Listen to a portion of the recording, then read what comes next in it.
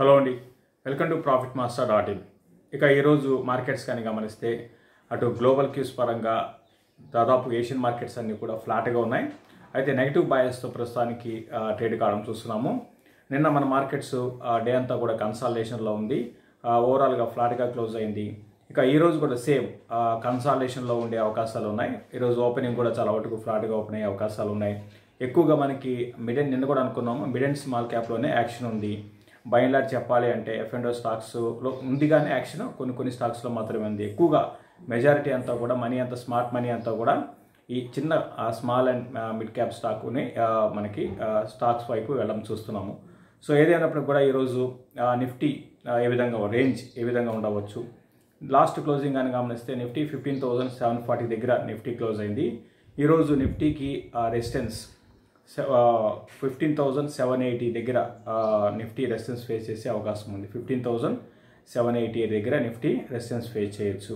అదేవిధంగా ఇంకోటి eight hundred అనమాట మ్యాక్సిమం తర్వాత ఇంకా డౌన్ సైడ్ కానీ గమనిస్తే ఫిఫ్టీన్ థౌజండ్ నిన్న అనుకున్నాము ఏదైతే సపోర్ట్ ఉందో ఫిఫ్టీన్ థౌజండ్ సెవెన్ హండ్రెడ్ అక్కడే నిఫ్టీకి ఒక సపోర్ట్ తర్వాత ఫిఫ్టీన్ థౌజండ్ సిక్స్ ఎయిటీ ఓవరాల్గా మార్కెట్స్ అంటే ఆ హైక్యూలోకి మనకి లాస్ట్ ఫ్యూ డేస్గా గమనిస్తే కొంచెం రేంజ్ అనేది తగ్గింది. నిన్న మరీ చూస్తే ఒకే రేంజ్లో నిఫ్టీ కొనసాగడం చూసాము సో ఈరోజు కూడా అదే విధంగా ఉండవచ్చు అనుకుంటున్నాను ప్రస్తుతానికి. అయితే at the same time global markets ట్రెండ్ని ఎప్పటికప్పుడు కీన్గా అబ్జర్వ్ చేయండి. మరోవైపు అటు క్రిప్టో కరెన్సీ మళ్ళీ పడ్డం అనేది మనం చూస్తున్నాము. దాదాపు క్రిప్టో కరెన్సీ అన్నీ కూడా భారీగా సెల్లింగ్ అనేది చూస్తున్నాము. సో దాన్ని కూడా ఒకసారి ట్రాక్ చేయండి. సో ఇక బ్యాంక్ నిఫ్టీ పరంగా రేంజ్ ఏ విధంగా ఉండవచ్చు? బ్యాంక్ నిఫ్టీ నిన్న సెల్లింగ్కి మంచి సెల్ చేసుకున్న వాళ్ళకి మంచి లాభాలు ఇచ్చి ఉంటుంది ఇంట్రాడేలో. హై నుంచి బాగా కరెక్ట్ అయింది. ఈరోజు బ్యాంక్ నిఫ్టీ హయ్యర్ సైడ్ కానీ గమనిస్తే thirty five thousand three hundred అనమాట ఆ, లెవెల్లో కొంత రెసిస్టెన్స్ ఫేస్ చేయొచ్చు. Thirty five thousand three hundred or three fifty ఈ ఈ లెవెల్స్లో బ్యాంక్ నిఫ్టీ రెసిస్టెన్స్ ఫేస్ చేయొచ్చు. నిన్న ఒక దశలో థర్టీ ఫైవ్ థౌజండ్ బ్రేక్ అయిందనమాట కాబట్టి twenty క్లోజర్గా twenty nine thousand nine twenty అనేది ఇంకో సపోర్ట్ ఆ లెవెల్లో సపోర్ట్ ఉండవచ్చు. Twenty nine thousand nine twenty and twenty nine thousand eight hundred ఇది bank నిఫ్టీకి supports higher side thirty five thousand three three hundred నుంచి three fifty అనమాట ఇంకా stocks ఏం చేయాలి? బయింగ్ వెళ్ళాలంటే ఏం చేయాలి? బయింగ్ వెళ్ళాలి అంటే సన్ టీవీని బై చేయమని చెప్తానండి. సన్ టీవీని బయింగ్ ప్రయత్నం చేయండి. దీన్ని ఫైవ్ ట్వంటీ ఎయిట్ నేను last closing five twenty eight దగ్గర క్లోజ్ అయింది. దీన్ని ఫైవ్ ట్వంటీ ఫైవ్ పైన ఉంటే బై చేయండి. ఫైవ్ ట్వంటీ ఫైవ్ పైన ఉంటే బై చేయండి. ఒక three rupees four rupees stop loss పెట్టుకోండి. ఒక ఫోర్ రూపీస్ అట్లా స్టాప్ లాస్ పెట్టుకోండి. Sun TV buy above or eight five twenty five ఇక టార్గెట్ అంటే five thirty six or thirty four పరిస్థితులు తగ్గట్టుగా మీరు ప్రాఫిట్ బుక్ చేసుకోండి. కీన్గా స్టాక్ని అయితే అబ్జర్వ్ చేయండి ఆ స్టాక్ మూవ్ ఏ విధంగా ఉందో చూసి మీరు బయింగ్ ప్రయత్నం చేయండి. ఓవరాల్గా సన్ టీవీని బై అండ్ డిప్స్ అని చెప్తాను. ఇక సెల్లింగ్ వెళ్ళాలంటే ఏం చేయాలి? టీసీఎస్ని సెల్ చేయమని చెప్తానండి. టీసీఎస్ ఇది లాస్ట్ క్లోజింగ్ అని గమనిస్తే త్రీ థౌజండ్ టూ హండ్రెడ్ దగ్గర క్లోజ్ అయింది. దీన్ని three two three four three six three two three four three six ఆ లెవెల్స్లో మీరు సెల్ చేయండి. Three two three four three six ఆ లెవెల్స్ బిలో ఉంటేనే సెల్ చేయండి. Suppose three three two four zero పైన అబవ్ ఉంటే మాత్రం సెల్ చేయొద్దు. త్రీ టు ఫోర్ జీరో పైన సస్టైన్ అవుతుంటే సెల్ చేయకండి. ఒకవేళ దాని పైకి వెళ్ళి కిందకు వస్తున్న క్రమంలో దాని కింద కంటిన్యూగా ట్రేడ్ అయితే three two four zero below కంటిన్యూగా ట్రేడ్ అయితేనే మీరు or three two three four three two three six below కంటిన్యూగా ట్రేడ్ అయితేనే మీరు సెల్ చేయండి. TCS sell below three two three four three two three six or at ఇప్పుడు నేను చెప్పిన లెవెల్స్ దగ్గర సెల్ చేయండి. స్టాప్ లాస్ కొంచెం దూరంగా పెట్టుకోండి. స్టాప్ లాస్ ఒక మీరు త్రీ టు ఫైవ్ జీరో పైన స్టాప్ లాస్ పెట్టుకోండి. ఇది టీసీఎస్కి సంబంధించి సెల్లింగ్కి ఇంకొకటి మారుతిని కూడా సెల్ చేయమని చెప్తానండి. మారుతి కానీ గమనిస్తే last closing seven three three six దగ్గర క్లోజ్ అయింది. దీన్ని seven thousand four not four four not six క్లోజర్గా four ten ఆ లెవెల్స్లో ఆర్ దాని బిలో ఉంటే సెల్ చేయండి.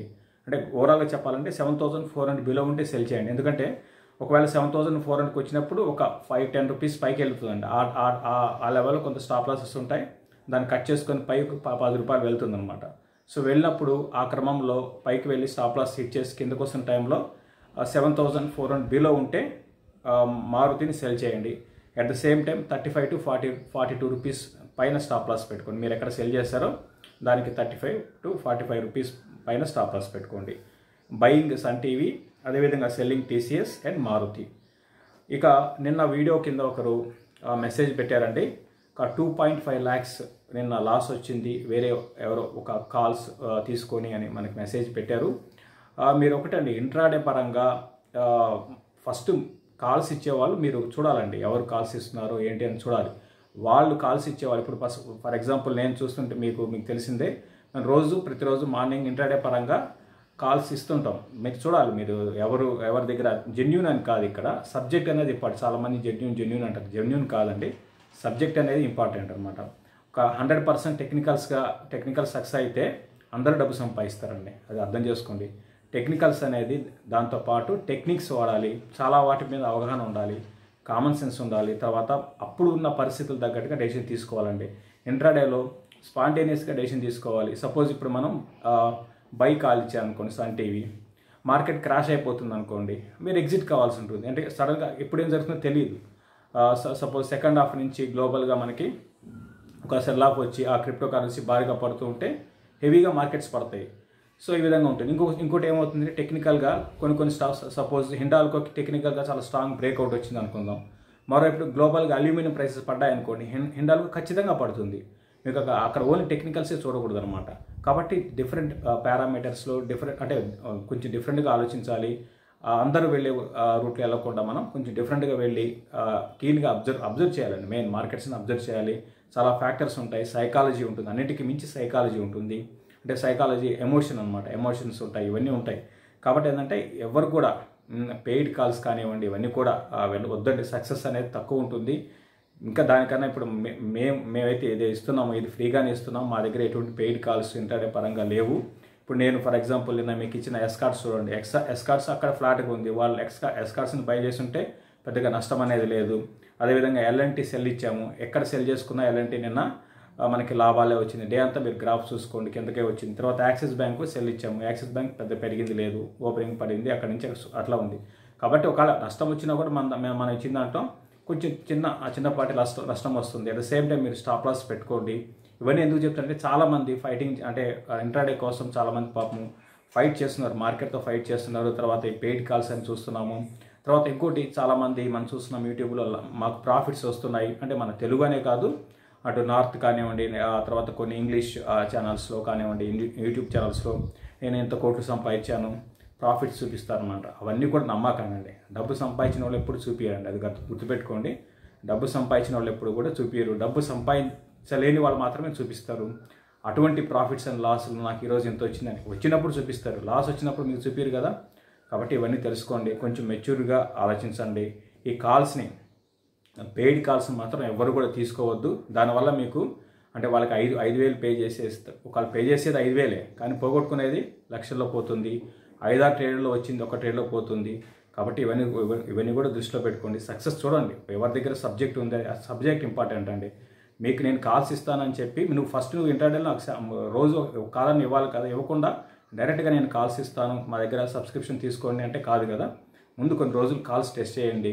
అవి మీకు సక్సెస్ అయితే అది కూడా నేను సజెస్ట్ చేయను బట్ అసలు కాల్స్ జోలికి వెళ్ళకండి పెయిడ్ కాల్స్ జోలికి ఎవరు కూడా వెళ్ళొద్దు. మీ ఓన్గా మీరు స్కిల్స్ని డెవలప్ చేసుకోవడానికి ప్రయత్నించండి ఇది పెద్ద సముద్రం కాబట్టి అది అర్థం చేసుకోండి.